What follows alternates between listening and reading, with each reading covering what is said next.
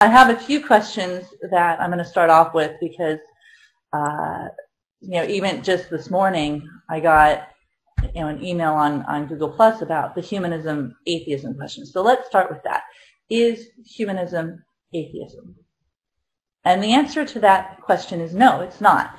Humanism is a secular philosophy, meaning it's not a religious philosophy. It's focused on the practical aspect of living as opposed to the spiritual uh, supernatural aspects of living. We don't take supernatural things into account when we're thinking about things.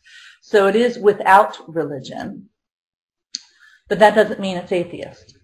Now, granted, most people who are without religion would classify themselves as atheists, but not all do. Some people just say, well, I'm spiritual, uh, but not religious. Right. Um, there's also agnostics who are without religion.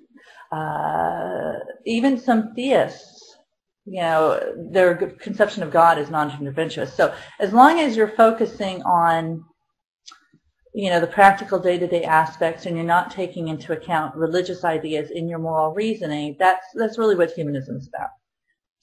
Now, the next question I got I get is um, because the humanist philosophy is such an attractive philosophy um, because it's it's geared towards helping make the world a better place. Humanists are committed to making the world a better place. We're committed to living our lives with justice and compassion and reason uh, for the benefit of all humankind. And we're not the only ones that want to make the world a better place. You know, religious people do too. And when they come across humanism and our rationales for why we want to make the world a better place, they they tend to agree with it wholeheartedly.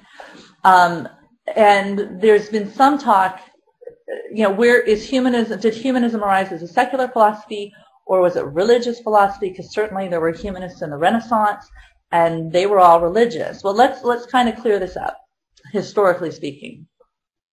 The Renaissance of the humanists were classical scholars. A humanist, one of the definitions of humanist is that you're a classical, you're a scholar of the humanities. So if you go to a humanities department anywhere in the, in the world, the professors of the humanities are likely to refer to themselves as humanists. All right, and it's not the same meaning of humanist as someone who's following the humanist philosophy.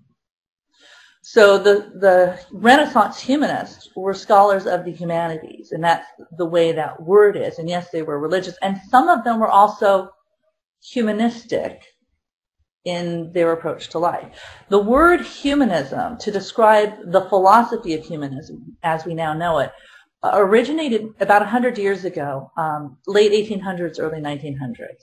And it was coined by some UU ministers, Unitarian ministers, to specifically describe a secular approach to ethics and morality and living a good life of fulfillment to the greater good of humanity.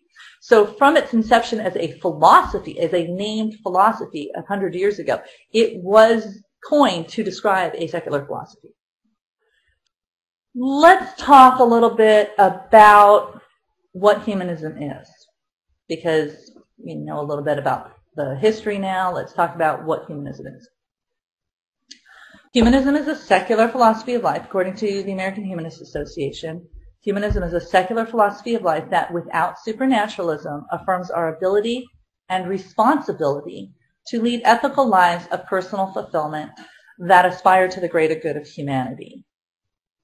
To put it more simply, uh, for me, my personal motto I wrote when I was uh, 11 was live your life to the fullest, love other people, and leave the world a better place. And, and that's pretty much it. It's, it's a choice to be the best, most ethical person you can be.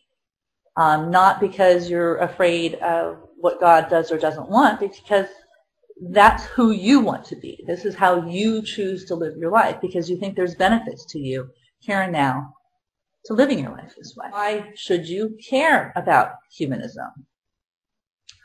Well, uh, it's because humanism, it turns out, is one of the most influential philosophies of all time.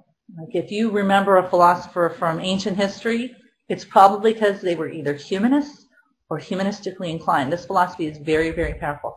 How it encourages you to think about yourself in relationship to every other human being on the planet, how it encourages you to think about your responsibilities to those other people is very, very powerful. And this is why, you know, when you look at the civil rights movement, you know, the, the people behind it, um, A. Philip Randolph, Bayard Rustin, people like that, they were humanists.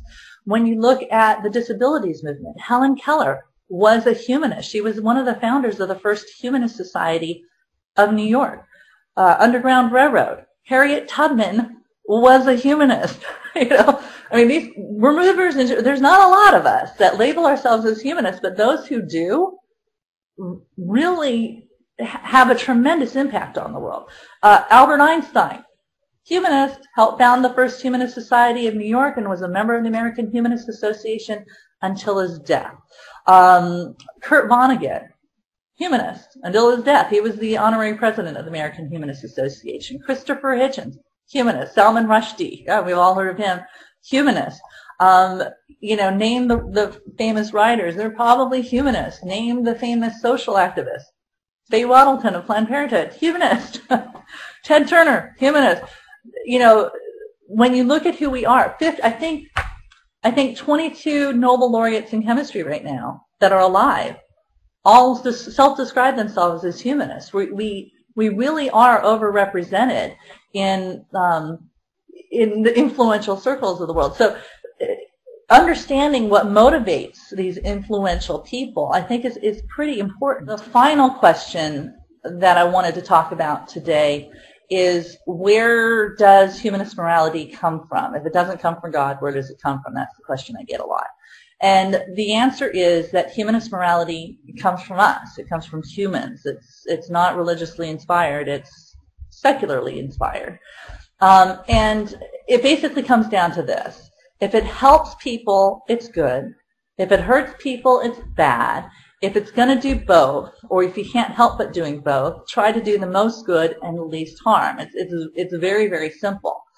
Um, what I think makes humanism unique is that while, while most humans share this value system, regardless of where you go um, and how you were raised and what you believe or don't believe, this is a common human approach to morality. It, it really is. I mean, there's been studies on global ethics that show that people value the same things all over the world and they judge right and wrong the same way all over the world regardless of their religion, regardless of their culture, and so forth. So this is common human basis of morality, and that's exactly why it's a humanist basis for morality. The difference between the humanist approach and, say, the religious approach is that the humanist doesn't, you know, doesn't ascribe our values to a religion. We think they're sufficient unto themselves. We understand that a lot of people don't think they're sufficient unto themselves, and that's fine for them. This is the humanist approach, right?